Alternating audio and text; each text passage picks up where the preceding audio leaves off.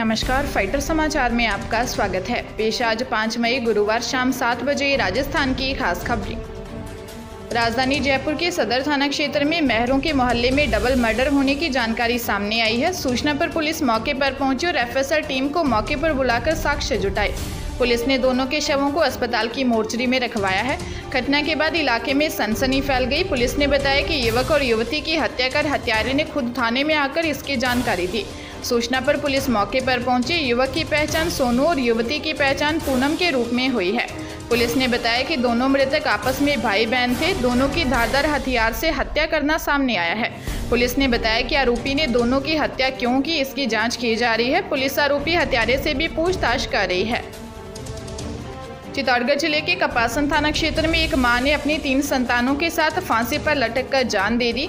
सूचना पर पुलिस मौके पर पहुँची और एफएसएल टीम को मौके पर बुलाकर साक्ष्य जुटाए पुलिस ने बताया कि काचियाखेड़ी गाँव के मार्ग पर स्थित आरएनटी पोल्ट्री फार्म में एक महिला व तीन बच्चों ने फांसी पर लटके होने की जानकारी मिली थी।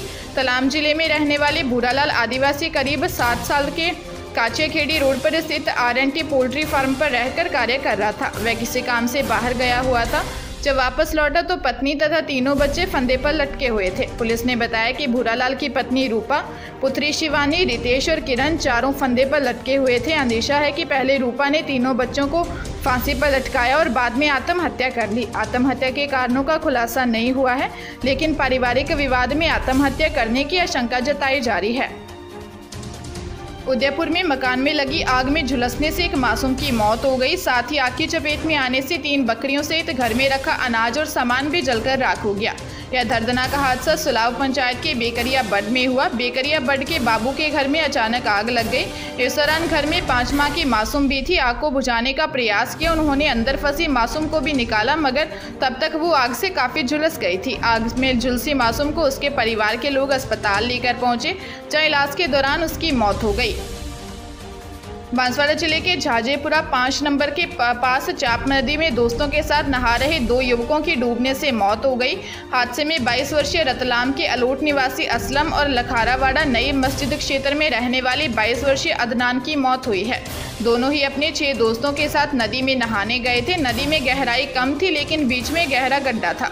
अदनान गहराई में चले जाने से डूब गया। इसे देख असलम उसे बचाने बढ़ा, लेकिन वह भी डूब गया। दोनों की आवाज़ सुनकर बाकी दोस्त मदद को आए, लेकिन तलाश नहीं पाए। बाद में स्थानीय तैराक की मदद से दोनों के शव बाहर निकाले गए। दोस्तों ने जीवित होने की आस में पेट से पानी निकालने की कोशिश भी की। दोनों को अस्पताल ले जाया गया, जहाँ डॉक्टरों ने दोनों को मृत घोषित कर दिया। भरतपुर ज़िले की पोक्सो कोर्ट ने बच्ची से दुष्कर्म कर उसके शव को कुएँ में छुपाने के जुर्म में एक आरोपी को आजीवन कारावास और दो लाख रुपए का अर्थदंड लगाया है। आरोपी बच्ची को कोल्ड ड्रिंक पिलाने के बहाने खेत में ले गया और उसके साथ दुष्कर्म कर उसके शव को सूखे कुएँ में फेंक दिया। घटना 24 मार्च 2021 में नदबई थाना इलाके की है। आठ साल की बच्ची घर के बाहर खेल रही थी, तभी वहाँ गाँव का ही रजनेश नाम युवक आया और वह बच्ची को कोल्ड ड्रिंक पिलाने का बहाना बनाकर बहला फुसला ले गया। रजनेश बच्ची को खेत में ले गया और उसके साथ दुष्कर्म किया। रजनेश ने बच्ची का दुष्कर्म कर उसकी गला दबाकर हत्या कर दी। हत्या करने के बाद रजनीश ने बच्ची के शव को एक सूखे कुएँ में फेंक दिया और उसके ऊपर से कूड़ा डाल दिया। बांसवाड़ा ज़िले के कोतवाली थाना क्षेत्र की आनंद विहार कॉलोनी में दुकान खोलकर घर गया युवक फिर वापस नहीं लौटा। वह घर में ही फंदे से झूल गया। घर में बीमार पिता सोता रहा, जिसे लड़के के फांसी से झूलने की भनक भी नहीं लगी। कई घंटों तक दुकान नहीं लौटने पर ताऊ ने भतीजे को फ़ोन लगाया, लेकिन उसने फ़ोन रिसीव नहीं किया। घर पर पता चला कि युवक उसके कमरे में आराम कर रहा है। वहाँ आवाज़ लगाने पर उसने जवाब नहीं दिया। आशंका हुई तो परिवार के लोगों ने रोशनदान से झांका, जहाँ युवक के फंदे से झूलने का सच पता चला। दरवाज़ा तोड़कर परिवार ने शव बाहर निकाला। पुलिस ने बताया कि अजय घर से नई आबादी स्थित दुकान पर पहुँचा। दुकान खोली और कुछ देर बैठा। इसके बाद वह दुकान से घर चला गया, जहाँ से काफ़ी देर तक दुकान पर नहीं लौटा। घर पर उसने फांसी लगाकर आत्महत्या कर ली। पुलिस मामले की जाँच कर रही है। धौलपुर ज़िले के कोलारी थाना पुलिस ने महिला से रेप करने वाले एक तांत्रिक को गिरफ़्तार किया है। आरोपी ने 28 अप्रैल को इलाज के बहाने महिला से दुष्कर्म की घटना को अंजाम दिया था।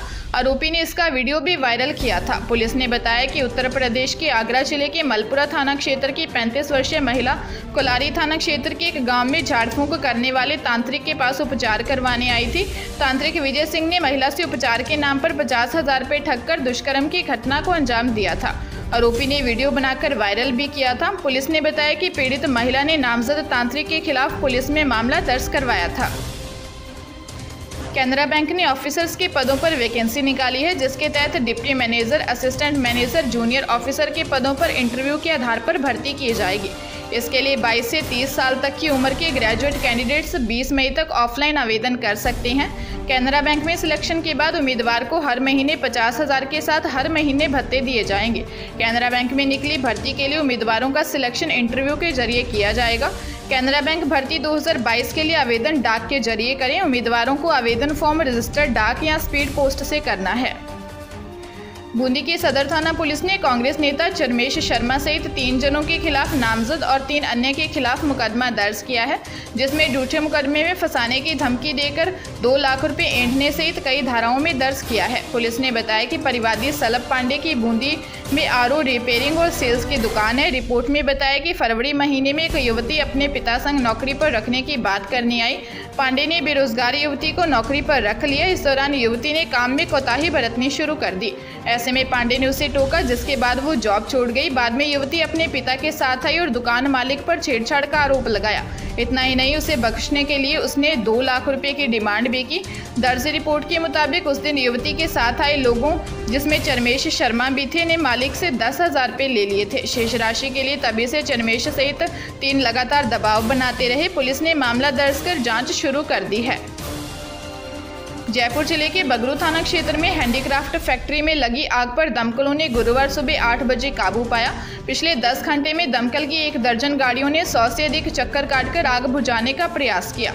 बगरू ने न्यू रिको स्थित पोधार एसोसिएट हैंडीक्राफ्ट फैक्ट्री में यह आग लगी थी। आग की सूचना पर आसपास की फैक्ट्रियों में हड़कंप मच गया। सभी कार्मिकों ने फैक्ट्री की लाइट बंद कर फैक्ट्री को खाली कर दिया। आग की सूचना मिलते ही 20 मिनट में दमकलों का आना शुरू हो गया, जो कि सुबह 8 बजे तक यह सिलसिला चलता रहा। आग इतनी भीषण थी कि आग की लपटें 200 मीटर ऊंचाई तक जा रही थी। आग से करोड़ों रुपए के नुकसान का अनुमान लगाया जा रहा है। पुलिस ने आग लगने के कारणों की जाँच शुरू कर दी है।